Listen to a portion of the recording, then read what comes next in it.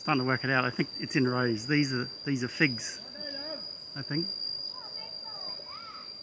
I think.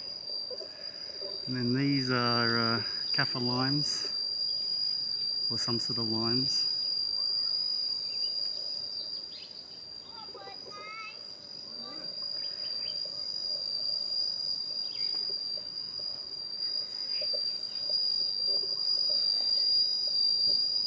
And these are, I don't know what these are.